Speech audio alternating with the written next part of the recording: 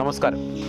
ശ്രീ വിനോയ് തോമസിനാണ് ഇത്തവണ കേരള സാഹിത്യ അക്കാദമിയുടെ ചെറുകഥാ പുരസ്കാരം ലഭിച്ചത്. അദ്ദേഹത്തിന്റെ ഒരു ചെറുകഥയാണ് ഉടമസ്ഥൻ. വെട്ടിപ്ലാവിൽ പാപ്പച്ചൻ.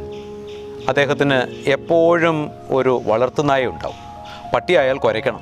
അത്യാവശ്യം കടിക്കുകയും വേണം. നമ്മൾ അതിനുവേണ്ടിയല്ലേ അതിനെ വളർത്തുന്നത്? ഉടമസ്ഥന്റെ ഇഷ്ടത്തിനനുസരിച്ച വളർത്തുമൃഗങ്ങൾ പെരുമാറേണ്ടത്. ഇതായിരുന്നു അയാളുടെ പട്ടി വളർത്തലിന്റെ സൈദ്ധാന്തിക അടിത്തറ.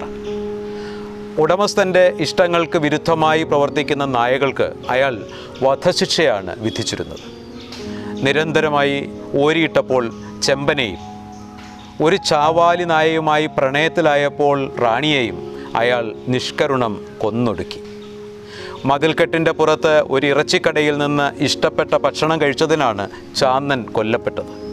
പറമ്പിലെ വെരുകിനെയും ഈനാമ്പേച്ചിയെയും ആക്രമിച്ചു കൊല്ലാൻ തയ്യാറാകാത്ത ചന്തുവിനെയും അയാൾ വധിച്ചു കളഞ്ഞു. ഒടുവിൽ അമിച്ചൻ എന്ന തന്റെ ഒടുക്കത്തെ നായയെ വധിക്കാനുള്ള ശ്രമത്തിനിടയിലാണ് വെട്ടിപ്ലാവിൽ പാപ്പച്ചൻ ഇല്ലാതാകുന്നത്. അനിവാര്യമായ ഒരു പതനം. കഥയിൽ തന്റെ പെൺമക്കളെയും വളർത്തുമൃഗങ്ങളെ പോലെയാണ് അയാൾ വളർത്തിയിരുന്നത് എന്ന് കാണാം. വേരുകൾ മണ്ണിൽ പടർന്ന് ചില്ലകൾ ആകാശത്തിലേക്ക് വിടർന്നു നിൽക്കുന്ന ഒരു മരം ഭൂമിയിലെ ഒരു ഉടമസ്ഥന്റെയും ഇച്ഛയ്ക്കനുസരിച്ചല്ല വളരുന്നത്. അതിന്റെ വേരുകൾ അറുത്ത് തടിയായി മാറുമ്പോൾ മാത്രമാണ് അതിന് ഒരു ഉടമസ്ഥനുണ്ടാകുന്നത്. ഭൂമിയിലെ ജീവനുള്ളവയെല്ലാം സഹജീവികൾ മാത്രമാണ്.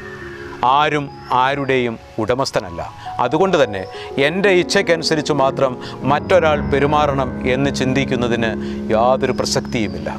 സ്വന്തം ഇച്ഛയ്ക്കനുസൃതമായി വളരാൻ സഹജീവികളെ അനുവദിക്കുകയാണ് അഭികാമ്യം.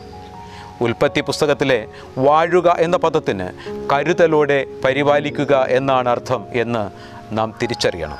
നന്ദി നമസ്കാരം.